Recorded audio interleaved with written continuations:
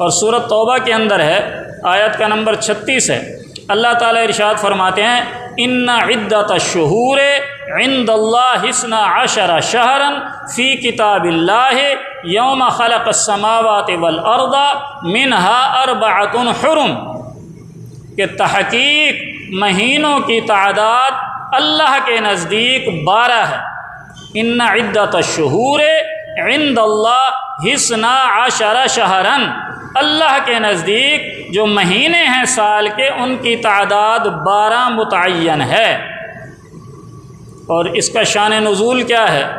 यानी ये आयत किस मौके पर नाजिल हुई? अल्लाह ताला ने क्यों फरमाया कि जो है साल के महीने बारह हैं? वो तो होते ही बारह हैं। योम खलकसमावत वल अर्द, आगे इसी आयत के अंदर ही बता दिया कि जब से आसमान और ज़मीन पैदा हुए हैं, तभी से बारह चली आ रही है। अल्लाह ताला ने साल के बारह महीने बनाए हैं और आसमान और ज़मीन की पैदाइश के वक्त से ही बारह चले आ रहे हैं, लोहे महफूज के अंदर बारह हैं, बल्कि ज़मीन और आसमान की पैदाइश से पहले ही बारह मुतन थे अल्लाह के इल्म में। वजह इसकी ये है, इस शान शान नज़ूल आयत का, कि अरबों के अंदर, ज़माना जहलीत के अंदर आपस में लड़ाइयाँ बहुत थीं। हम आपने भी स्कूलों के अंदर पढ़ा होगा कि अरबों की जो है अखलाकी हालत पहले कैसी होती थी। हज़रत ईसा वसलाम की आमद से 600 साल पहले तक अरब का जो ख़त्ता है, हिजाज का ख़त्ता, मक्का का ख़त्ता, ये दीन इब्राहिमी पर कायम था। हज़रत ईसा की तशरीफ़ आवरी से 600 साल पहले ये ख़त्ता आहिस्ता आहिस्ता बुत परस्ती की तरफ़ आता गया। यहाँ तक कि आप सल्लल्लाहु अलैहि वसल्लम की आमद से पहले मुकम्मल ख़त्ता बुत परस्त था।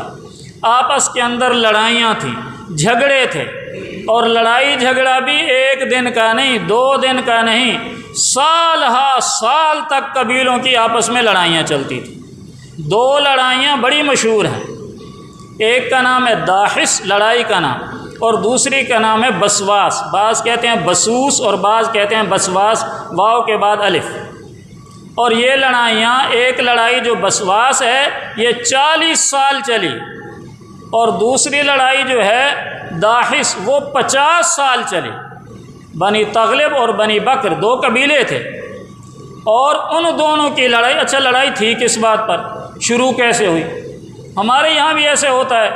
हम आप, आपस में जो है, दो घरों की लड़ाई हो जाती है। जब तहकीक करो तो पता चलता है कि कोई बच्चे का छोटा सा मसला था, उसकी वजह से लड़ाई छिड़ गई। पहले बच्चे थे, फिर औरतें इन्वाल्व हुई, फिर मर्द आ गए, फिर काम बढ़ गया।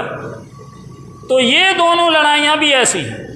जो लड़ाई चालीस साल चली, उसकी वजह क्या थी कि एक आदमी आया चश्मे पर या कुएँ पर पानी पिलाने अपनी ऊँटनी को।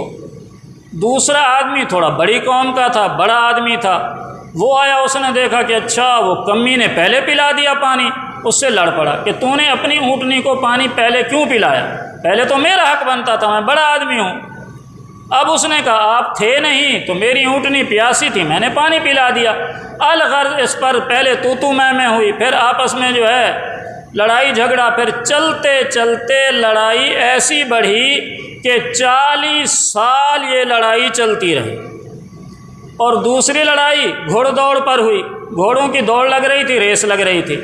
आम आदमी का घोड़ा आगे निकल गया, बड़े साहब जो थे उनका घोड़ा पीछे रह गया। इस पर लड़ाई शुरू हो गई कि जी नहीं जी, अंपायर ने गलती की है, रेफरी ने पैसे खाए, वगैरह वगैरह, जो था उस दौर में। इसी को अल्ताफ़ हुसैन हाल ही गुजरे हैं, उन्होंने एक शेर में बंद किया है, इन्हीं लड़ाइयों। और उन्होंने कहा, कहीं पानी पीने पिलाने पे झगड़ा, कहीं घोड़ा आगे बढ़ाने पे झगड़ा।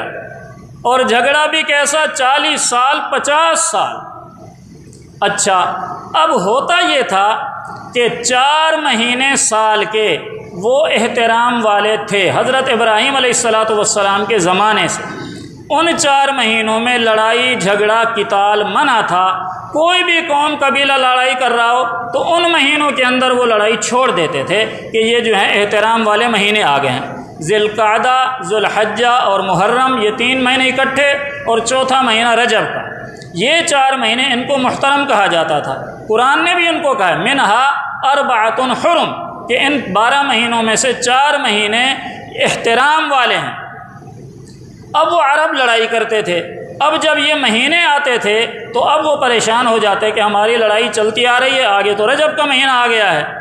लिहाजा, अब इसमें तो लड़ाई बंद करना पड़ेगी। तो वो ऐसा करते थे कि महीनों की तरतीब बदल देते थे। और कहते थे कि ये जो रजब आ गया है, ये महीना रजब नहीं है। रजब का महीना अगला होगा, यानी शाबान को रजब बना दिया। एक बात, दूसरा ये करते थे कि बिलफर लड़ाई चलते चलते चलते आठ महीने हो गई, और उसके बाद साल के तो बारह महीने हैं। अब चार महीने लड़ाई लड़ाई बंद करनी है और उनका किताल का लड़ाई का बंद करने का इरादा नहीं है दोनों कबीलों का। भाई, हमने आगे लड़ाई जारी रखनी है। और तो फिर क्या कहते? कहते, इस साल जो है, साल बारह महीने का नहीं होगा, चौदह महीने का होगा। यानी दो महीने मज़ीद लड़ाई करेंगे और उसके बाद जो है, लड़ाई रोक देंगे चार महीने तो साल को चौदह महीनों में तकसीम कर दिया। तो इस तरह सारी तरतीब उन्होंने खलत मलत कर दी थी। रमज़ान को शाबान बना दिया, शाबान को रमज़ान बना दिया, जिलकादा को शवाल बना दिया रबी अव्वल को ज़िकात बना दिया। महीनों की सारी तरतीब अरबों ने उलट फेर की हुई थी। और साल के कभी बारह महीने कर दिए, कभी चौदह महीने कर दिए।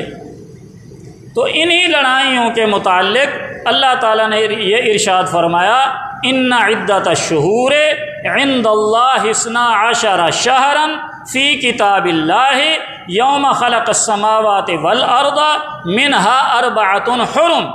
कि अल्लाह के नज़दीक महीनों की तादाद बारह ही है, साल के बारह महीने हैं। और ये तादाद अल्लाह के इल्म ज़मीन व आसमान की पैदाइश से पहले है, यानी लोहे महफूज के अंदर ये तादाद और अब चार महीने इनके अंदर वो एहतराम वाले हैं जुल्क़ादा जुल्हज्जा, मुहर्रम और रजब।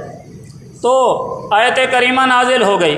और आप सल्लल्लाहु अलैहि वसल्लम ने फरमा दिया, भाई, ये साल के आठ, सन आठ हिजरी की बात है। सन आठ हिजरी में जब मक्का मुकरमा फ़तह हुआ तो आ हज़रत अलैहि वसल्लम ने हज़रत अबू बकर सिद्दीक रज़ी अल्लाह तु को अमीर हज बनाकर भेजा हज के अंदर ऐलानात करने के लिए।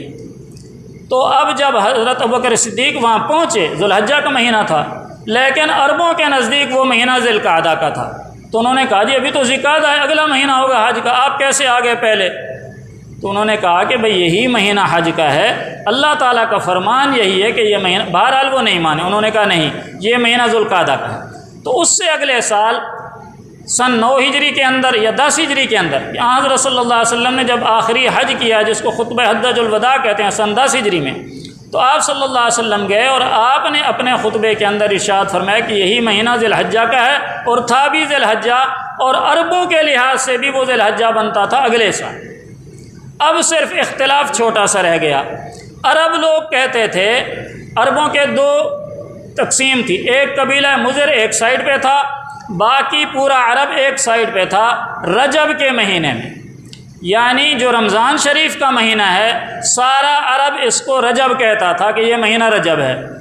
सिर्फ़ कबीला मुज़र ऐसा था, जो रजब का असल महीना है, शाबान से पहले वाला, उसको मुज़र वाले रजब कहते थे। लिहाजा आप सल्लल्लाहु अलैहि वसल्लम ने फ़ैसला फरमाया, और रजब के साथ रजब मुज़र का लफ्ज़ हदीस में आता है कि रजब से वो रजब मुराद होगा जो रजब मुज़र है, यानी कबीला मुज़र वाला रजब। तो इस लिहाज से वो सारी तरतीब सेट हो गई और महीनों की तरतीब भी सेट हो गई और सालों की तरतीब भी सेट हो गई।